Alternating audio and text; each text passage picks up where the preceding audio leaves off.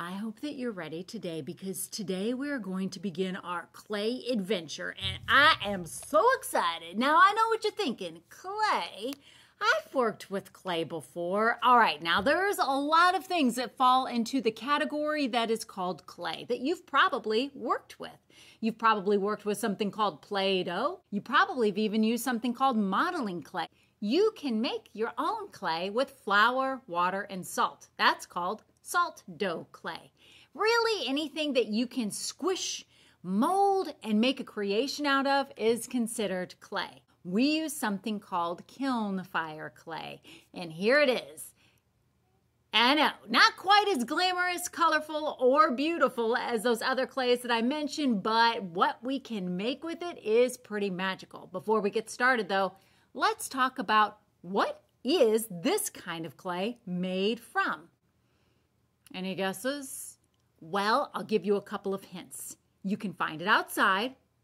It comes from nature. It's only made of two ingredients. If you said mud, then ring a dang, you win the prize, which is that you get to work with clay with me today. People have been creating with clay since the beginning of time.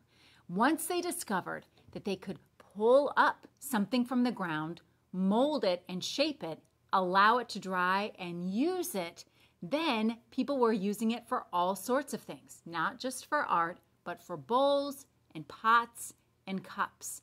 You can even still find some of these things. If you're digging in the dirt, you might find some broken shards of old pottery and things made out of clay. Where did people so long ago get clay?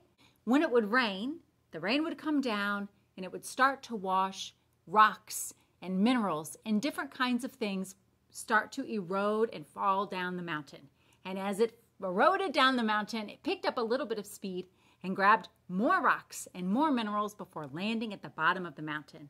When it did, Native Americans would collect that clay, take it home with them, and then lay all that clay out on a table outside in the sunshine to dry. Why would they want their clay to dry?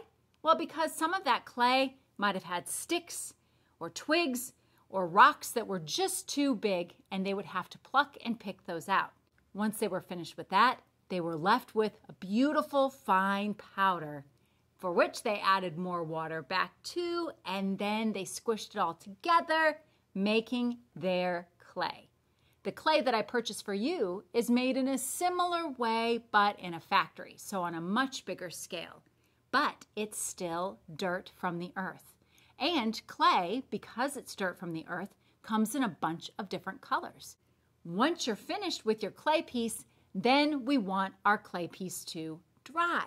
That's right, we don't want it to stay soft and squishy forever because we want to be able to keep it forever. Your clay, when it's drying, we're allowing the water that's in the clay to evaporate or leave the clay. There's tiny little cutesy wootsy molecules of water inside this clay.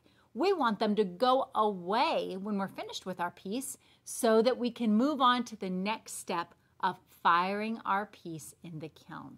Here's a little bowl that I made by hand.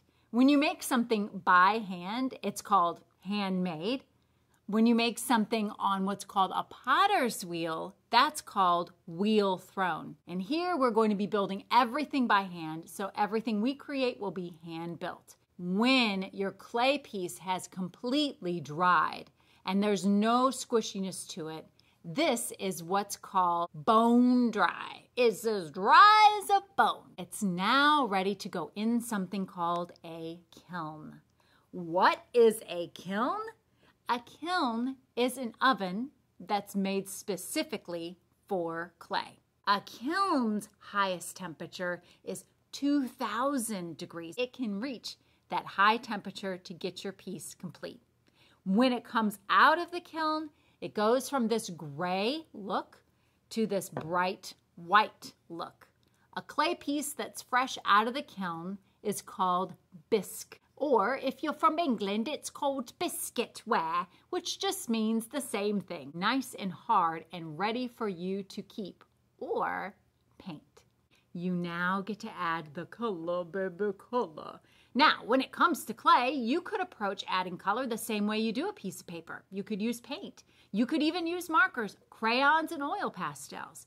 Or you could do something that traditional clay artists use, which is called glaze. Glaze is a special kind of paint that is just for clay that has very small, sometimes big, pieces of glass in it.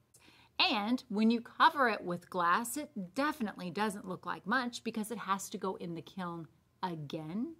The second time it's in the kiln, those little pieces of glass melt and they come out really shiny, just like this. What's that? You want to see what my kiln looks like? Well, let's go. I'll show you in the kiln room. All right, guys, this is the kiln room. It's called the kiln room because guess what's in here? Ba-bam! A great big old kiln. Remember, a kiln is like an oven that's just for clay. And when we put our clay pieces in this kiln, we say that we are firing our clay piece.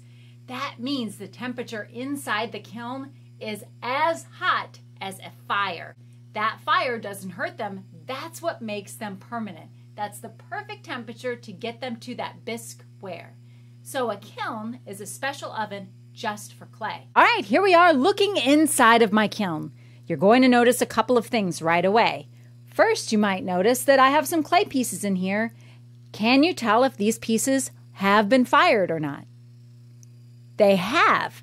We know this because they are bright white. They have been bisque fired.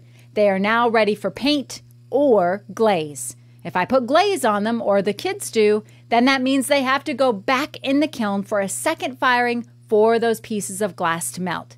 You'll see that I've got shelves inside of my kiln. You might also see that there are some bricks inside of my kiln. That helps to insulate or keep the heat inside the kiln. And you'll also see some coils. The coils are the heating element. That's what heats up the kiln to get it nice and hot to fire your clay piece. All right, guys, I hope that you're ready and excited to explore working with clay.